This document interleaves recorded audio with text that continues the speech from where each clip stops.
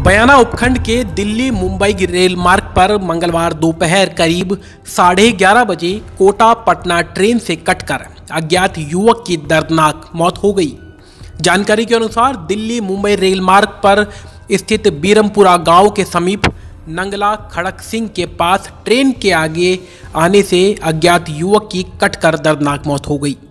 Railway कर्मचारियों ने police को सूचना दी, जिस पर पुलिस ने मौके पर पहुंचकर शव को कब्जे में लिया। और शव की शिनाख्त करने की कोशिश कर रही है।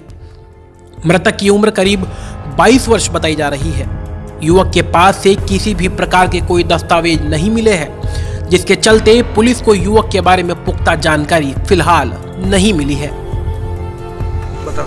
आज सुबह साढ़े ग्यारह बजे सुबह कोटा पन्ना ट्रेन से एक, एक लड़का जिसकी उम्र करीब बाईस साल सफ़ेद काले पैंट और सफ़ेद शर्ट पहनी हुई है। जि, जिसकी उम्र बाईस साल है जिसके हाथ पर बाई दाइनी तरफ़ जी एस नाम लिखा हुआ है और उसके दो पार्ट हो गए हैं कटने से जिसकी लाश को मोरचरी सी एस सी